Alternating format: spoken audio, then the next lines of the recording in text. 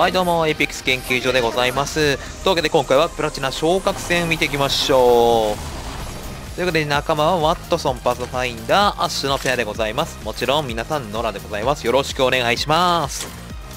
というわけで早速見ていくんですけれどもえーとですねまず近くに敵がいるということでね長物はこれ一旦捨ててまあそこの辺にあったまあ、プラウラ、あんま使ってないんですけどね、プラウラにして、ちょっと近くにいる敵を倒しに行こうという形ですね。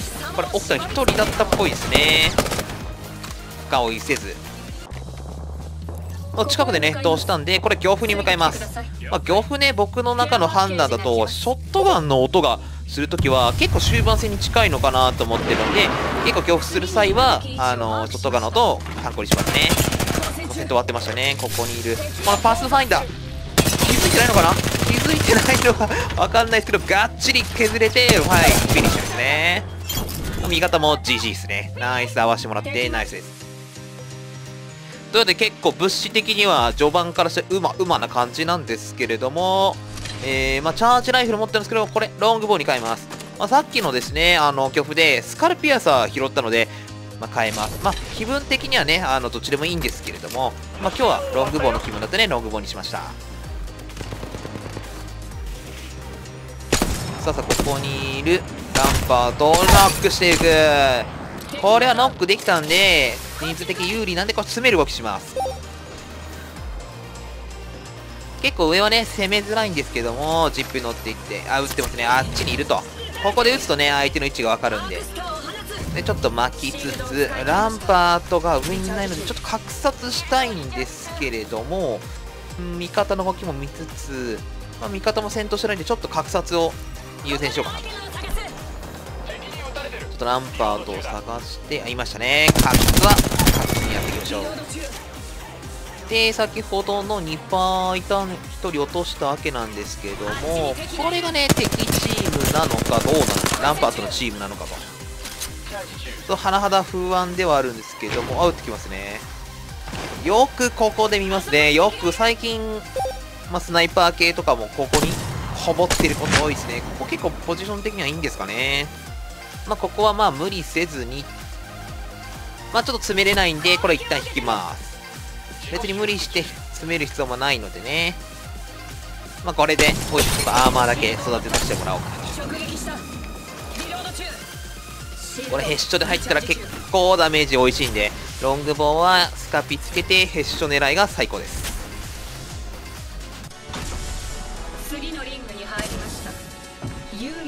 まあ、これ上に1人いるのでケアパケですね。降りてきたとこをチェックしたらやっぱ1人いましたね。大体ケアパケの近くっているんでね。チェックするといるかなと、まあ、これノック取れれば最高だったんですけどもまあなかなかうまくいかないですね。シールドリチャージ中。パスがね、結構 HP ギリなんですけども、ファイトしてますね。これ近くに敵がいるということでね、ちょっと後ろ警戒しつつ、近くに2パーいるんですよね。さっきのパーティーと、あと、手前の小屋にも。これ相手がね、1人白アーマーだったんで、まあ、強気にね、行ってもいい場面だったんですけども、まあね、こちらのアーマー結構ね、紫紫青なんでかなり強いんで、まあ、詰めれたらワンチャンあったんですけども、まあ、結構情報共有っていうのはね、難しい、ノラだと情報共有が難しいかなと思いますんで、ま、無理せずにって形ですね。まあ、まだ結構まだ残ってたんで、まあこれは必要に打っていくんですけど、これ当たらなかった。これでダウンもし取れたら、本当に詰めてました。で、味方も結構前に出てたんで、これは詰める動きでしたね。これは僕が起点を作るべきでした。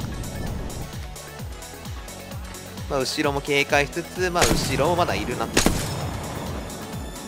まあ、まだ見てますよというのを警戒しつつね、まあ、一発もらいましたけど。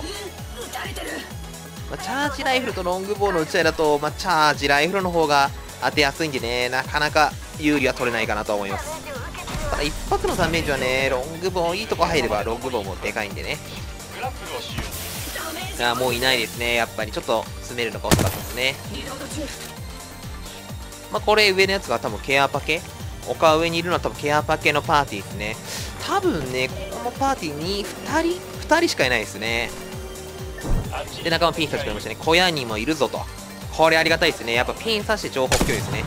これ上のやつを牽制してまあこれ上のやつ撃ってる理由としてはあの小屋側に、えー、のパーティーに丘上にもいるぞとまあ牽制して他の車線が通ってるんでニッパで挟めれば最高かなと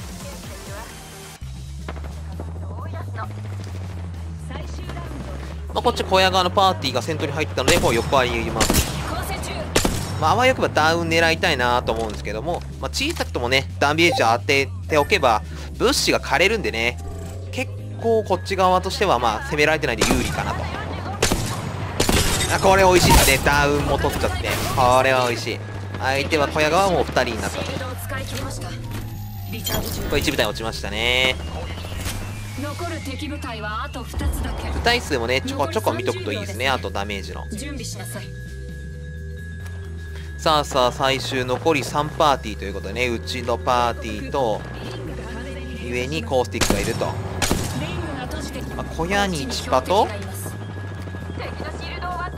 あ今1人落ちましたね。ところで残り2つ。もう1人落ちてます。コースティック落ちます。これコースティック落ちてるんで格殺入れようと思ったんですけど仲間がね結構前に出てるのを気づいたんでこれはやばいと思って。これ出遅れちゃったんで僕も詰めると。ちょっとめっちゃ遅いんですけど、まあ、とりあえずグレートか投げてね。これはラッキーでした。味方強すぎでした。GG。というわけで、チャンピオンいただきました。ごちそうさまです。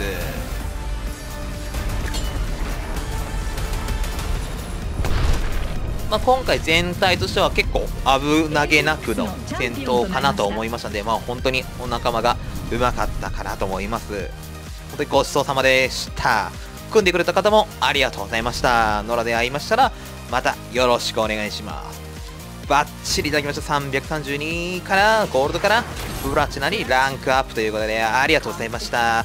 今後はね、ソロでまたやっていきたいますんで、よかったらチャンネル登録など、こうしたらもっといいよというコメントなどありましたらいただけると幸いです。というわけでまた次の動画でお会いしましょう。またね